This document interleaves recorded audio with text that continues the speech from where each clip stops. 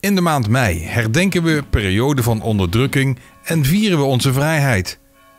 In Nederland zijn we trots op onze democratie en het feit dat we in vrijheid leven.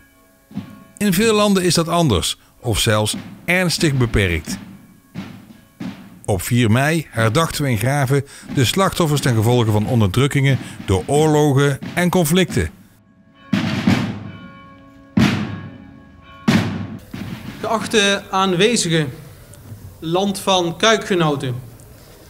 Met elk jaar dat verstrijkt, wordt onze afstand tot de Tweede Wereldoorlog groter. En toch heeft bijna elke Nederlander een relatie met die Tweede Wereldoorlog. Of met andere oorlogen sindsdien. Voor de eerste generatie, de ooggetuigen, is het doorgeven van hun oorlogservaringen vaak een belangrijke vorm van verwerking. Maar ook een manier om kinderen en kleinkinderen, de volgende generaties, te waarschuwen voor het gevaar van oorlog. Deze generaties geven hun eigen duiding aan het oorlogsverleden op basis van de verhalen die zij hebben doorgekregen. Op 5 mei was de dag feestelijk en geheel een teken van de bevrijding van die onderdrukking en dat we in Nederland in vrijheid kunnen leven.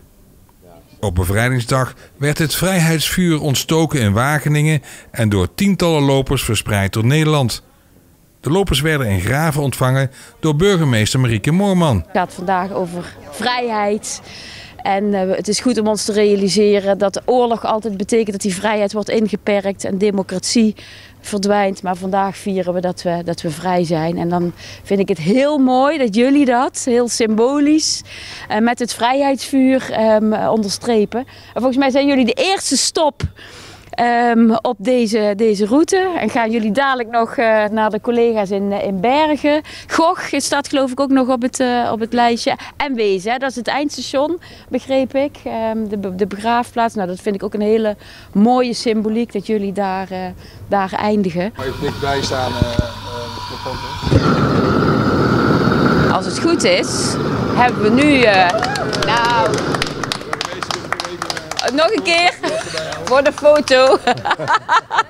Ja, helemaal aan Wageningen. We moesten er lang voor wachten, maar om uh, iets, volgens mij iets voor ene mochten we het vuur uh, in, uh, overnemen en meenemen.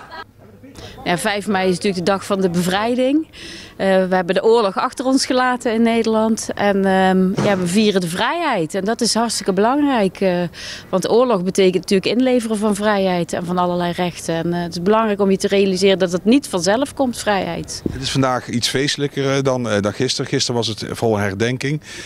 Land van Kuik doet dat op een heleboel verschillende plekken. Hoe was het georganiseerd gisteren en vandaag? Volgens mij hebben we op twaalf plekken herdenkingen gehad. Onder andere hier in Graven natuurlijk. En ehm, ik heb begrepen dat die allemaal uh, heel mooi en waardig zijn verlopen.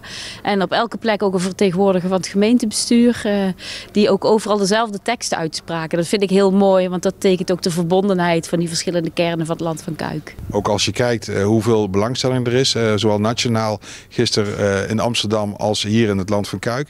Het gaat wel wat meer leven, bij, zeker bij de jeugd. ziet u dat ook zo? Ja, die indruk heb ik ook. Maar daar moet je wel voortdurend aan werken. Dus we moeten echt ons best blijven doen om die nieuwe generatie, jonge, jongeren, kinderen, om die bij de herdenking te blijven betrekken. Om, zodat we realiseren dat dit nooit meer mag gebeuren.